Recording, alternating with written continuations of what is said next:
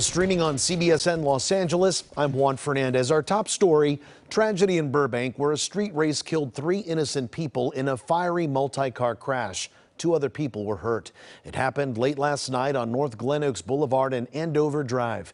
KCAL 9's Jeff Nguyen is live with more on the crash, the victims, and the serious charges those drivers could be facing. Jeff. Juan police say that two cars were racing in this direction when they collided with four innocent victims who were trying to make a left at that light. Let's go ahead and show you a picture of one of the victims who was killed. He has been identified by a friend as Cerian Baker, seen here from this Instagram account. Now, Alex Perez, who's a friend, says that the two of them formed a tight friendship when they played football together at John Burroughs High School in Burbank. Perez says that his friend Cerian was an artist and a musician. He actually meant the world to me, you know. He was a he was an older guy to me, older brother. Um, he always looked after me, always good laughs and everything. Always he always checked up on his friends, family all the time. Many people they would all know like he was just a, a good guy. Like he would always check up on everyone and everything. The aftermath gives you a sense of the impact that caused this Volkswagen to break apart. The crash killed three people and sent a fourth to the hospital. Derek Sheridan captured the intense flames that erupted from the car after he heard a series of collisions from his home in Burbank. The whole thing was hard to see.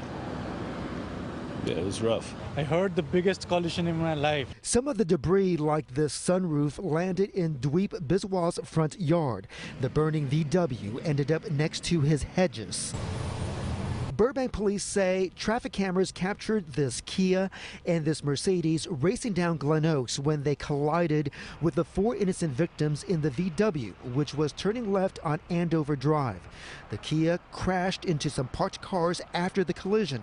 Neighbors were able to pull that driver out and placed him on the sidewalk. He wasn't talking, but he just looked like he was in a lot of pain. He was just grimacing and just, uh, he was quiet. That man has been hospitalized while police have been interviewing the driver and passenger of the Mercedes. Everywhere, like, like fire, I could feel the heat on my body, you know, and it, it was terrible. Biswal says he bought his home two months ago and put up this wall last month as a barrier because cars often race down his street.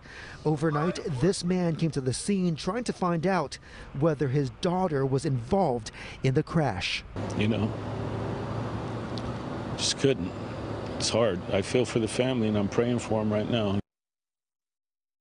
And so far, there have been no arrests in this case, and investigators have not released any of the names involved. We are live in Burbank. Jeff Nguyen, KCAL 9 News. Mm, what a tragedy, Jeff. Thank you. The city of L.A. prepared